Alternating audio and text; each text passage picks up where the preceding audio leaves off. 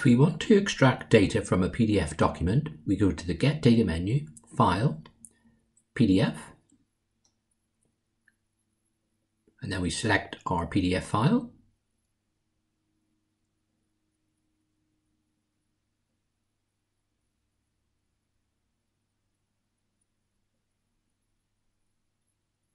And then here we're going to be presented with the tables found within the document and the pages as well.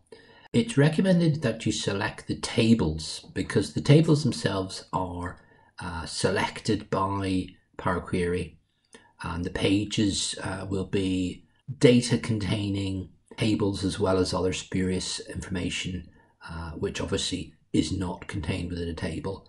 So the processing and the hard work has been done by Power Query uh, by presenting the tables. So as you can see, there's many, many pages within this document, something like 180 pages. So for uh, just for demo purposes, I only selected about 10 tables.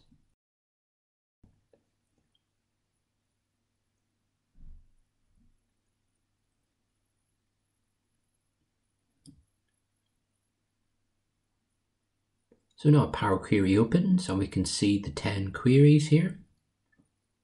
So I select them all select merge queries in the uh, menu item at the top here in the uh, home.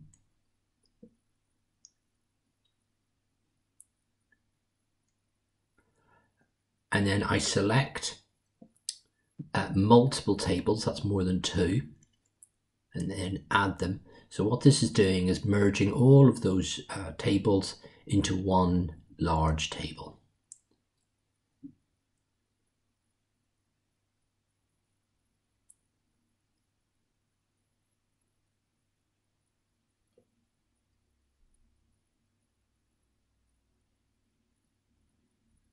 And because some tables only have two columns, it means that the third column is empty.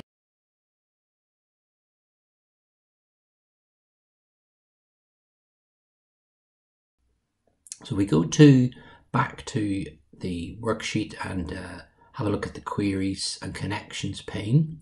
We can see we have all of the queries that uh, were connected to each table, but we have our merged query, which is uh, the bottom uh, table there, and we're going to return it to the worksheet.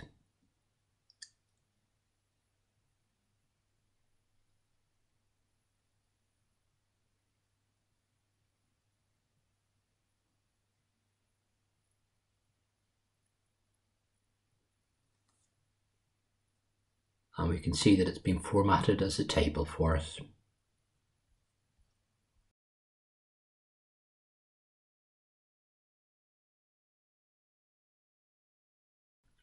Check out my business website too.